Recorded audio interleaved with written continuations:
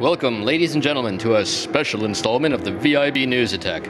I'm here with Marti Brown, former Vallejo council member and patron saint of participatory budgeting in the city of Vallejo, and Chad Allen Ponder Clevenger, actor and international tour guide.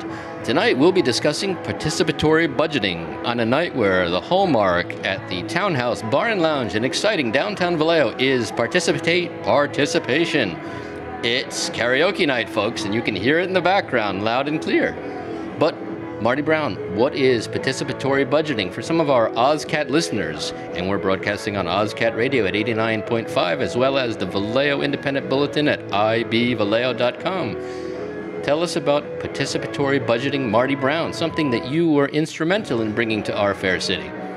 Well, Mark, first of all, thank you so much for having me um, on your show. Um, PB, as we affectionately call it, uh, is in broad strokes.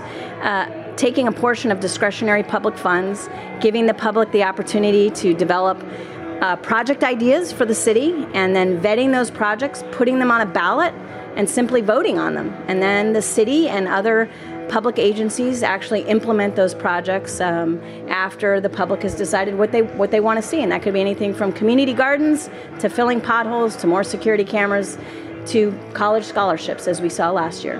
So the bottom line is you're saying to the people of Vallejo, not show me the money, but let us show you the money and decide how to spend it. Exactly. Right. So tell me a little bit about PB. We're in the second year of participatory budgeting in the city of Vallejo. Um, the budget's a little smaller this year than last year. Tell me about that. What's going on? Uh, well, the first year the city council, when I was on the city council, we piloted doing 30% of the 1% sales tax that the voters passed in um, 2011. And we, we piloted that. It was a very successful process. We did run into a few bumps in the road. It was the city's first time doing it. It was also the first citywide participatory budgeting process in North America. And um, I'm, I'm happy to say that we did the largest budget of any single PB process in the United States in 2012 and also had the highest number of vote getters of any PB process.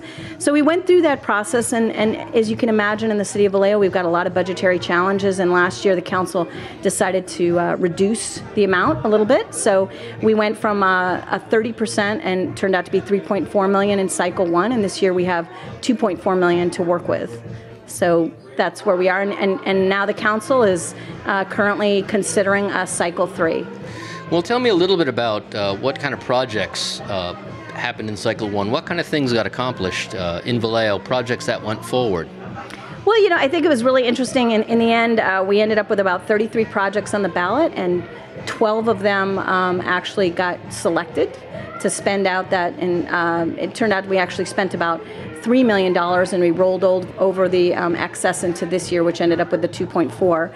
And those 12 projects really ran the gamut. It was actually pretty remarkable. It was some real, what I call meat and potatoes projects, like potholes and security cameras and additional lighting. But then it went into things like 10 community gardens and nut- nutrition classes across the entire city, and uh, things like a scholarship program for uh, Vallejo City uh, high school graduates, and a spay neuter program for low income families. So, you know, what I think we saw from the process is that Vallejo citizens, uh, like a lot of cities that do PB, they want to sprinkle it around. They want to sprinkle the money around to a lot of quality of life issues and spread that money out as much as they can. And, you know, in the end, everybody I talked to after the vote um, and the decision was made felt like they got something.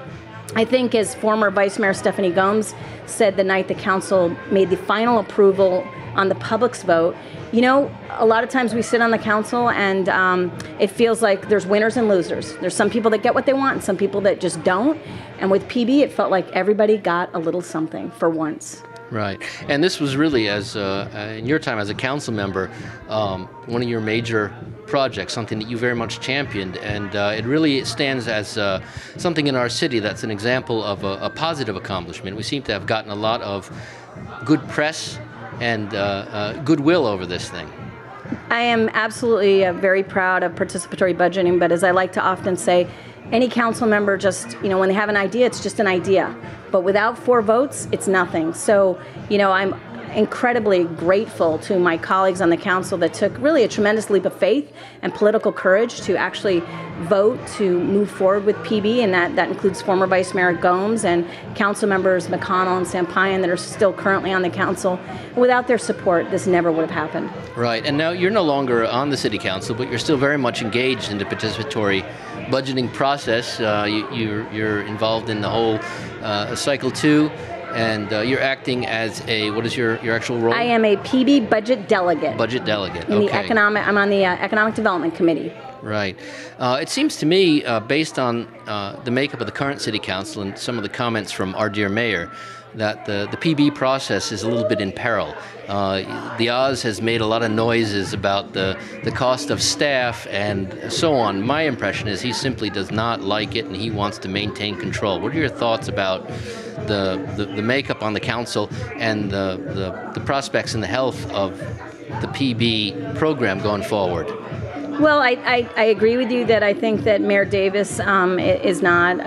I think he, he's he's appreciated and recognized some of the benefits of PB, but I also think that um, he's not, you know, a big fan 100% of the way, um, and and probably would like to have the council have purview over those dollars rather than have the public have the right to develop projects and put them on a ballot and vote for them. Um, as far as the the rest of the council, um, you know, I, I think it remains to be seen. It's a it's a bit of an open question. I'm, I'm not actually really sure. Um, I, I, think that um, Councilmember Miessner, McConnell, and Sampayan are fairly strong supporters. Uh, McConnell and uh, Sampayan both voted for it the last two years in a row, and uh, Councilmember Miessner was also um, on the PB steering committee. You know, ironically, uh, so was also Councilmember Dew-Costa, uh, Verda, Verda Liga, and uh, also Malgapo. All three of them were former PB steering committee members. So, you know, I think it's anyone's call to see where this is going to go. But you're absolutely right; it is in peril, and um, the city manager has a proposal that really uh, could could really um, undermine the kind of momentum and enthusiasm and the morale and hope. Well, tell us a little bit about uh, about what that suggestion is and what's proposed right now. Well, I'll start out by first saying that the, the last year, the 2013 council of which I was sitting on, um, we uh, made a recommendation on how to spend Measure B monies for the duration of the Measure B, which is until 2022. Right, and let's let's clarify for our listeners. Measure B it's a one percent sales tax. Thank you. That was passed by the voters in 2011, and so we we made sort of a it was like a menu uh, recommendation for how to spend the remaining one percent sales tax until 2022, and it included an allocation to PB every year until it expired. Right. And the council, excuse me, the council unanimously um, recommended an allocation starting with this next year, uh, reducing it to 1.5 million, but gradually climbing back up to nearly 2 million again by the end of the cycle. Um, so uh, the city manager came forward on April 22nd in a study session uh, this year, and, and rather than going forward and presenting to the council last year's recommendation, he uh, proposed that we basically skip a year of PB, kind of put it on hold, and then in addition to that, reduce the allocation next year in the fiscal year of 2015-16 to a million dollars. Let's hear from uh, from Chad and kind of get a a man on the street opinion. What do you think about the squeeze on uh, on our participatory budgeting monies? I think it's been a uh, PB has been a successful action for the city of Vallejo. I think that's important, and that ought to be. Um, I, I think that not to recognize that is just a matter of neglect. And uh, because anybody who knows anything about it knows that it's a success and that it has been a benefit to the community, and that is really has been the goal of city management um, since you know, in the last five years at least. And I think um, that successful action should be maintained. And, it, and I think where you have a success in the community, you should reward it. Absolutely. And we have we have so many black spots on our, our, our, city over the bankruptcy and so on. And this really is a, uh, a shining example of something that we did do that's positive. It's it's it is absolutely, and I think um, I think the mayor has gotten a lot of credit uh, because it has a, this success has occurred under his uh, you know stewardship, and I um, I'd like to think of him as a steward. I think it's an important word and an important mentality for city servants, and uh, it's an honor and a privilege to serve a community. And there's a lot of people who service this community in a nonprofit and a non in a way that doesn't benefit them uh, monetarily or in any other way. And I think these people, um, they put their necks on the line. And when you have a resounding voice from the community, it gives them permission to act and know that the community has their back. So, bottom line, Chad, as a, as a member of the community, um, to the mayor and city council regarding PB, what would you say? Sum it up.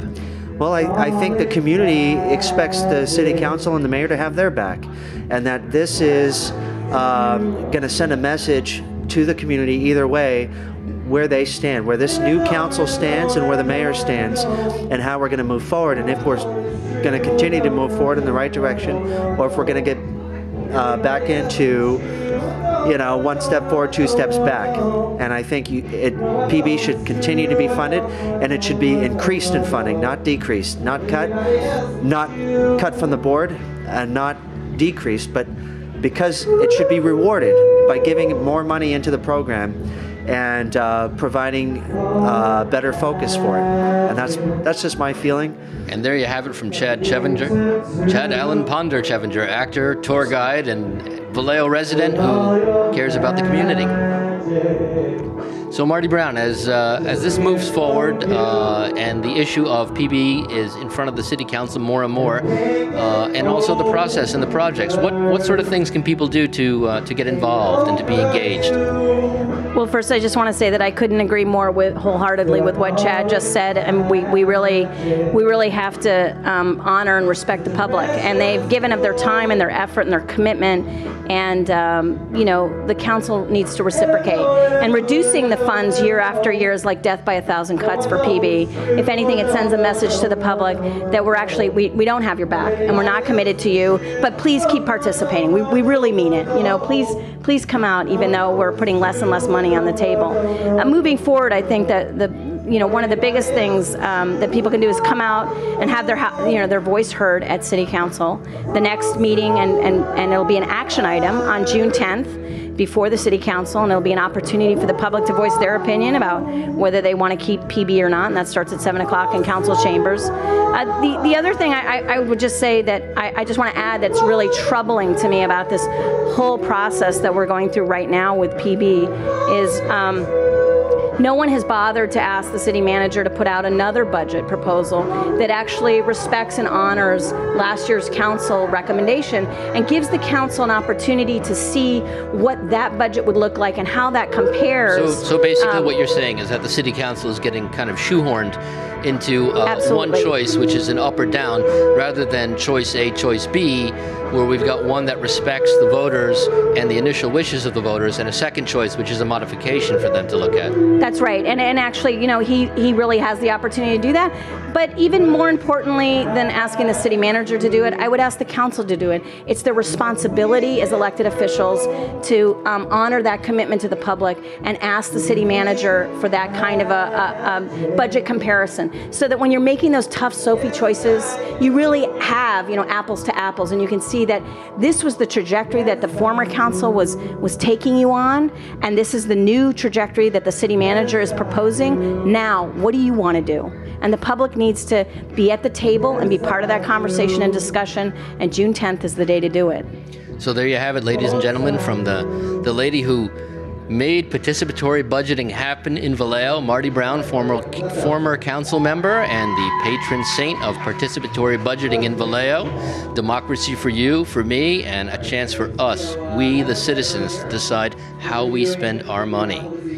Be there June 10th. And Marti, is there any uh, website address that people can look at for more information? Well, they can go to Save PB Vallejo on Facebook, certainly. And there's a petition out there that they can also find at Save PB Vallejo on the Facebook page that um, is at change.org. Um, and you can sign to just ask that the council honor the last year's unanimous council's recommendation to future councils of $1.5 million. So there you have it, ladies and gentlemen. Get online, sign the petition, make your voice heard, get engaged in democracy, because if you sit in your hands and watch the widescreen TV, you can't complain. Thanks a lot, Marti. Thank you.